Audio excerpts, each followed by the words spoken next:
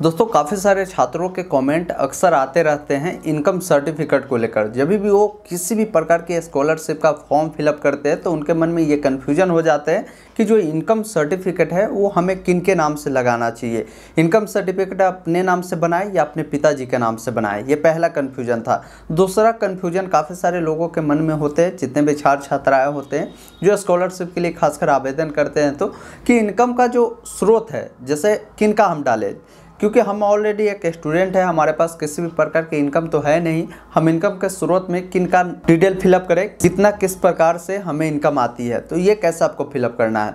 तीसरा कन्फ्यूज़न होता है कि जब भी हम इनकम सर्टिफिकेट बनाते हैं तो कितना अमाउंट का इनकम सर्टिफिकेट एक स्कॉलरशिप का लाभ लेने के लिए बनाना चाहिए जो आपको आगे चल के कभी भी किसी भी प्रकार की समस्या ना करे कोई भी परेशानी आपको ना करे। ये कंप्लीट सोल्यूशन आपको आज के इस वीडियो में हम देने वाले हैं। वीडियो को आप अंत तक ज़रूर देखिए। वीडियो अगर आपको पसंद आए तो एक लाइक ज़रूर करिएगा। साथ ही चैनल को ज़रूर सब्सक्राइब करिएगा ताकि आने वाले वीडियो का जो भी नोटिफिकेशन होगा आपको मिल सकेगा। सबसे पहले समझ लेते हैं कि ये इनकम सर्टिफिकेट आपसे क्यों मांगा जाता है किसी भी स्कॉलरशिप के लिए?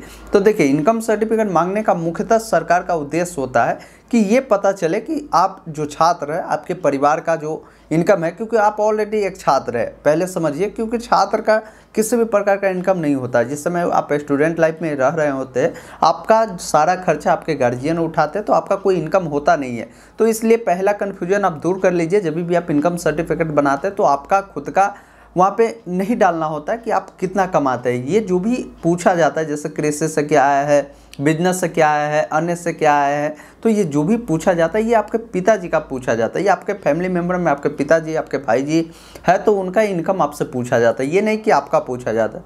तो जब भी आप यहाँ पर डालें तो आपके जो भी पेरेंट है, उनका जो भी इनकम होगा, उनका ही इनकम डालना है, जिससे वो कमा रहे होंगे। कृषि से जो कमा रहे होंगे, व्यवसाय से जो कमा रहे होंगे, अन्य से जो कमा रहे होंगे, वो आपको डालना होगा।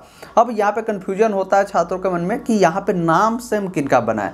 तो जब भी भी आप इनकम सर्टिफिकेट बनाए, खुद के नाम से बनाया, लेकिन इनकम का जो डाले जहाँ पे आपको अमाउंट पूछा जाता है, ये आपके पेरेंट का ही होगा। ये चीज़ ध्यान रखिएगा। तो ये दो कन्फ्यूज़न आपका दूर हुआ होगा। तीसरा कन्फ्यूज़न काफ़ी सारे छात्रों के मन में होते हैं कि जब भी हम स्कॉलरशिप के लिए आवेदन करते हैं तो कितना अमाउंट का हमें इनकम सर्टिफिकेट बनाना चाहिए।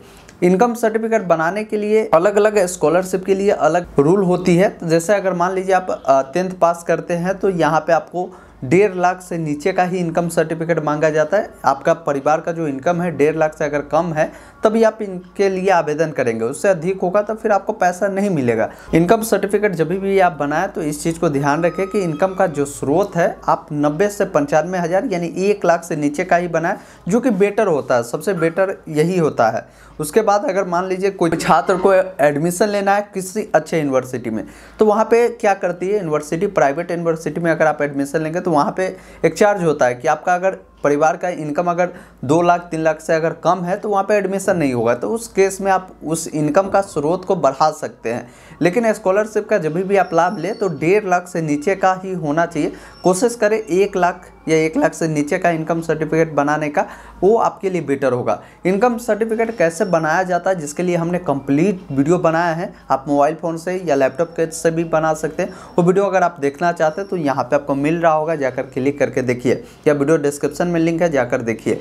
इसके अलावा भी कोई डाउट है कॉमेंट करें। वीडियो पसंद आ हो तो लाइक शेयर ज़रूर करें। साथ ही चैनल को ज़रूर सब्सक्राइब करें।